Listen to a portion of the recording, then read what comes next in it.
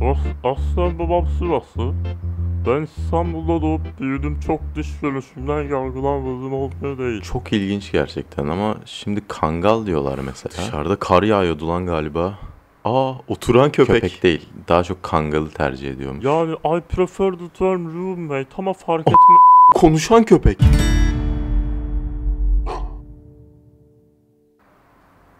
Baba tarafı mı? Aynen.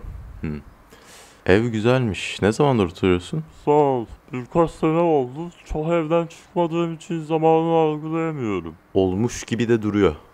Neden evden çıkmıyorsun? Dışarısı çok kalabalık. Ev rahat, sıcak. Artık kurye falan da getiriyor her şeyi. Yemek sepeti mi? Aynen artık çay da götürüyorlar biliyor musunuz? Yeah. Ama sen köpek yani insanları görmek ya da temiz hava iyi gelmez mi? E, camı açıyorum.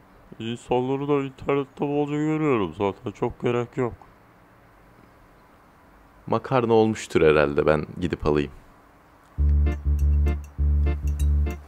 Ee, birlikte yaşamak sıkıntı olmaz mı sana? Okey miyiz yani? Yok kira zaten çok pahalı geliyor. Bir ev arkadaşla ihtiyacım var. İyi, iyi, iyi. Kanka beni neden çağırmıştın?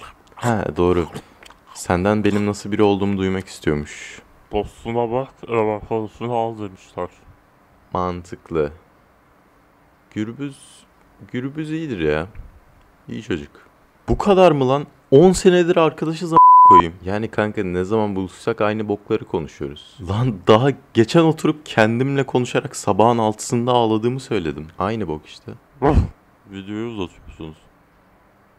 Benim için sorun yok zaten burada kalabiliriz. Çok teşekkür ederim Karabaş Bey.